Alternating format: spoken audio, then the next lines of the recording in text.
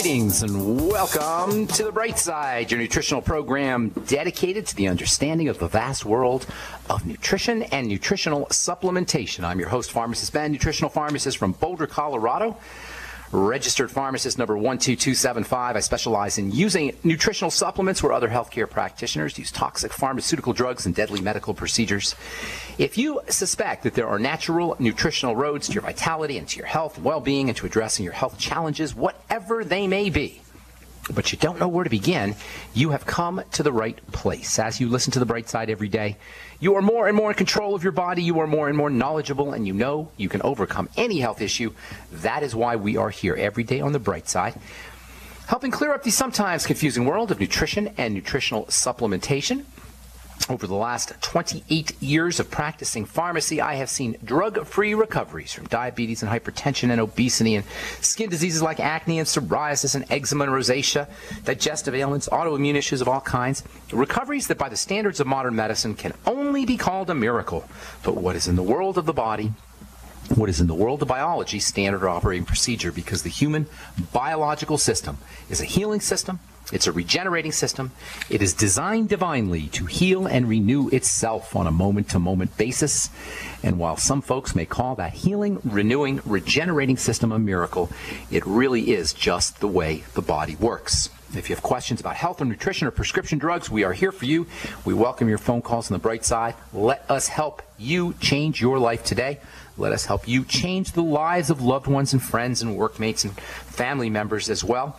If you have questions about prescription drugs, medications, if you want to get off your meds and get on a good nutritional supplement program, questions about the Youngevity products, health conditions, skincare, skincare ingredients, or if you just want to contribute to the conversation, our number is 855 660 4261. That's 855 660 4261.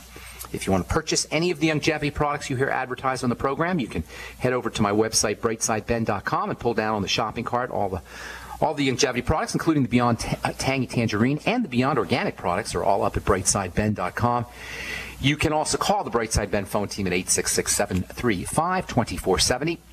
That's 866 735 2470. If you're interested in joining the Brightside Ben team for a one time $10 fee, you can start yourself a Youngevity business, earn some thank you checks as well, help change people's lives, help change your life as well. Get your products at the wholesale price, make some money while you're at it. And uh, folks can tell you all about it at 866 735 2470. Uh, that's uh, the Brightside Ben phone team phone number. Or you can also click on the Join the Team link at brightsideben.com brightsideben.com. For you guys who are interested in joining me and my friend Dixie on our weekly phone calls, we do uh, we do weekly phone calls every Sunday, 6 p.m. Mountain Standard Time. We cover a different health subject, and we try to incorporate the Youngevity products into the discussion as well.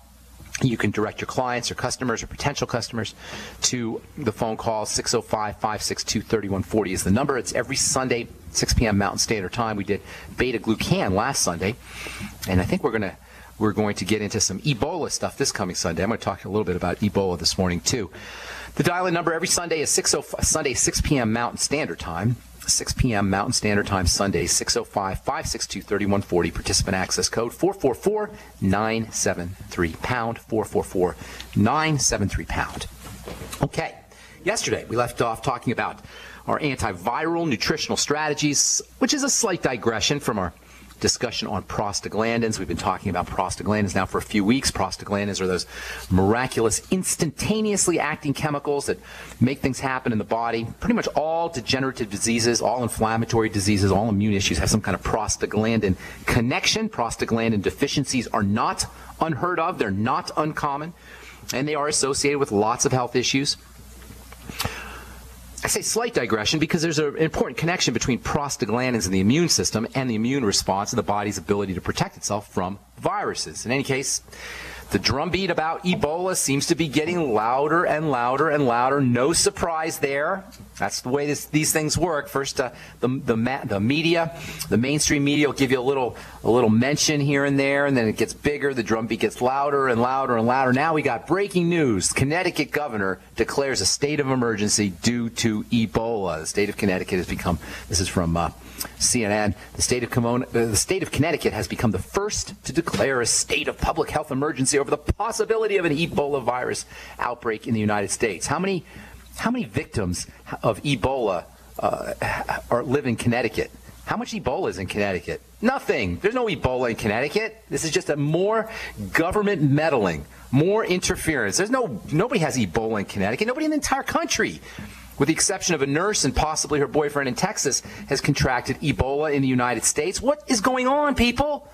This is craziness. Ebola is a weak virus. I said it before. I'll say it again. I said it yesterday. Ebola is a weak virus. This is craziness. We don't have to buy into this nonsense. And we don't need governments or their lapdog errand boys of the medical model or the medical mafia interfering in our lives to, quote, protect us. Keeping viruses and bacteria and infections out of the body is not the job of the government. It's not the job of your doctor. It's not the job of anybody. It's our job. And all we have to do is support this divine mechanism that we call the immune system, this divine mechanism that we all possess, that we all own, that has been designed divinely or by evolution, however you want to look at it, designed to withstand assaults from pathogens, microbes, bacteria, and viruses. What we need to be figuring out is number one, how to build the immune system, how to strengthen it, and number two, how not to suppress it. In fact, how not to suppress it is probably the most important thing we could do if we're worried about any virus, not just Ebola, herpes, and shingles, and the flu virus, and hepatitis C. Why do you think there's these drugs out that cost $1,000 a pill to deal with hepatitis C? It's because we don't understand how to maximize and how to optimize the, the, the unbelievably, unbelievably, massively incredible uh, system in the body that's called the immune system. So what do we do? How do you build the immune system? Well, for, uh, from, a physical, uh, from a physical perspective, keep in mind there's mental strategies, emotional strategies, and yes, spiritual strategies as well to maintaining health and to building a strong immune system. In a way, the immune system is kind of spiritual when you think about it. The immune system is the is the uh, the the way we detect the enemy, the not self. It's the distinction between self and not self, or it creates a, a boundary between self and not self. And in a way, the immune system or immune problems are some kind of breakdown in the distinction between who we are and who what is outside of our bodies.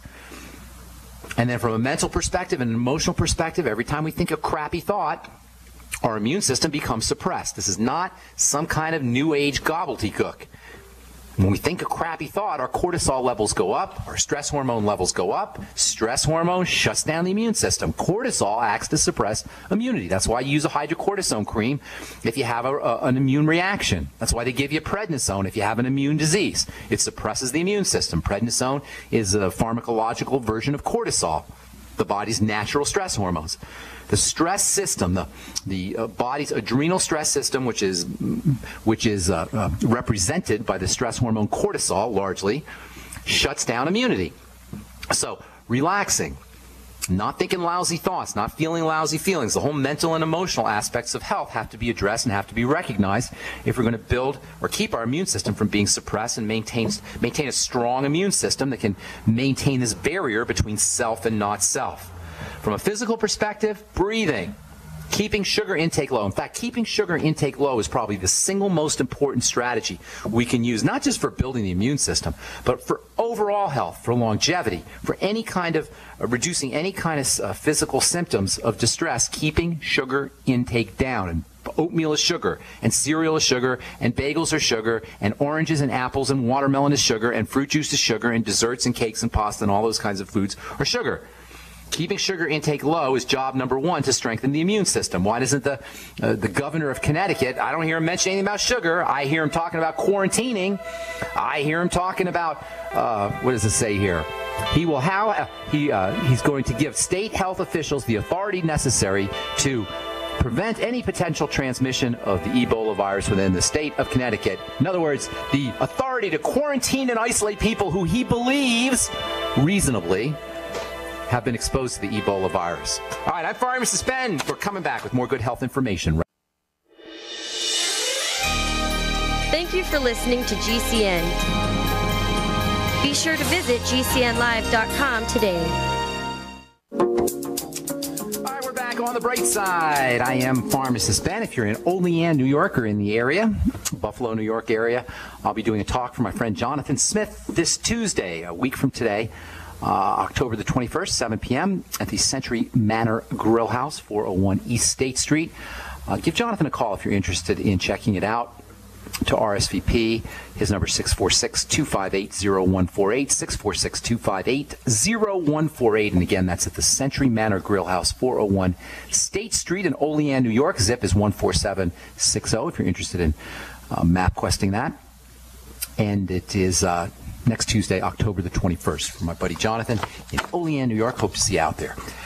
Okay, our number today is 855-660-4261. Got a couple lines open for you talking Ebola. If you caught uh, the news, if you if you watched the news this morning, you know that, that the governor of Connecticut has declared a state of emergency in the state of Connecticut about uh, concerning Ebola. Never mind that nobody in Connecticut has Ebola, but it gives gives the governor a chance to quarantine people and isolate people whom he quote, reasonably, reasonably believes have been exposed to the Ebola virus. If we really care about Ebola or antiviral, uh, antiviral protection, if our government really cares, they would be giving everybody zinc and everybody would have magnesium and we'd all have nutritional supplements and we'd all have uh, we would all learn how to relax a little bit or we would encourage learning how to relax a little bit to activate the immune system. Do you guys know that the immune system is activated under conditions of relaxation? Yes. That's because when we're under survival threat when the body's under survival threat the last thing the body cares about is protecting protection from viruses.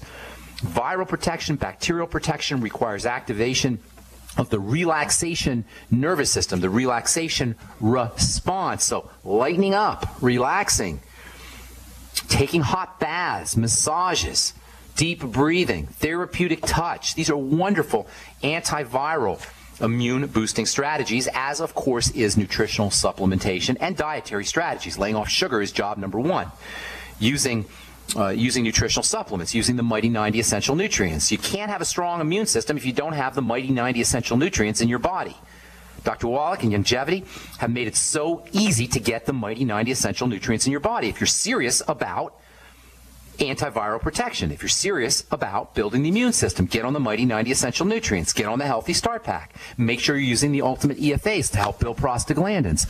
Make sure you're getting zinc, which is stupendously important for building the immune system, 50 milligrams a day.